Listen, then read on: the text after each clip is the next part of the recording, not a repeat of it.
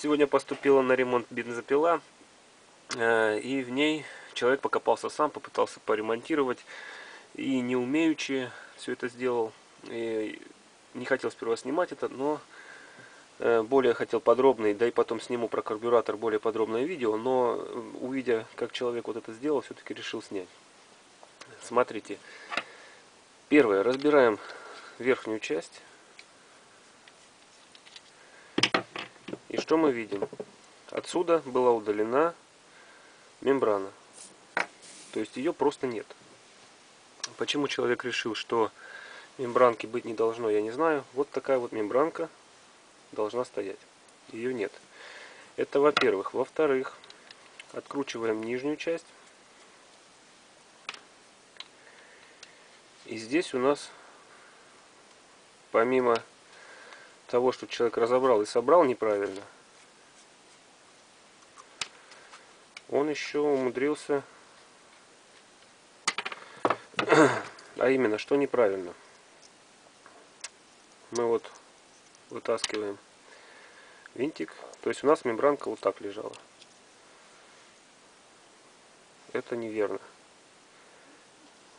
Она должна лежать вот так.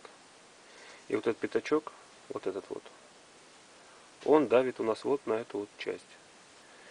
Помимо этого, то есть помимо того, что мембрана была перевернута, здесь еще человек, э, вот здесь вот, вот в этом вот жиклере есть такой резиновый клапан. И он этот резиновый клапан почему-то выдавил куда-то или туда, или вытащил его совсем.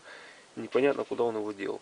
И, соответственно, чтобы отремонтировать данный карбюратор, надо вот этот резиновый клапан с какого-то другого карбюратора снять и сюда установить. Вот. Э, ну, в мастерской, конечно, это сделать можно. В домашних условиях вы этот резиновый клапан нигде не найдете. И, соответственно, карбюратор придется менять. Э, вот сюда лазить ничем острым нельзя. И вот сюда тоже. Вот. Итак, мембранку устанавливаем мы Соответственно, клапан поменяем. Мембранку мы ставим вот таким вот образом. Вот. Накрываем крышечкой. И закручиваем шурупами. Дальше.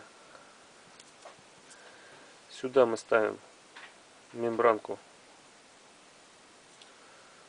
вот таким образом. Потом устанавливаем вот эту вот прокладочку, вот эту и накрываем крышкой. Вот так. И закручиваем вот этим винтом. Вот это будет правильно.